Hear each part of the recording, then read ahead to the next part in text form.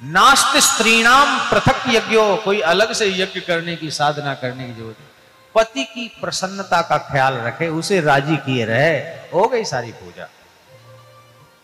जो पति को दुखी करती है, पति को परेशान करती है, और मंदिर में बैठी रहे, माला जपती रहे, खूब धर्माचरण करे, लाभ नहीं। पति प्रसन्न रहेगा।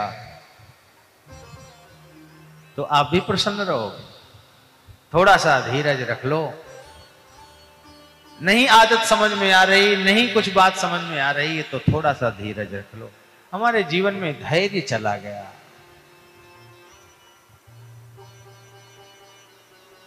थोड़ा सा रुक जाएँ, क्रोध आ रहा है, विचलित हो रहे हैं तो थोड़ा सा ठहर जाएँ थोड़ा सा विचार कर लें।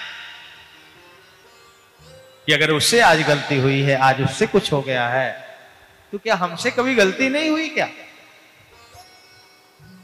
हमसे क्या कभी अपराध नहीं हुआ? जब आत्मनिरीक्षण होने लग जाता है, जब अपनी तरफ़ हम देखने लग जाते हैं, हम बुराई दूसरे की देखते हैं, कमी दूसरे की देखते हैं, अरे अपनी तरफ़ देख करके चलो। संत कहते हैं, शास्त्र कहते हैं अध्यात्म के पथ पर चलने वाले पथिक को चाहिए कि अपना निरीक्षण करे, अपनी ओर देखे।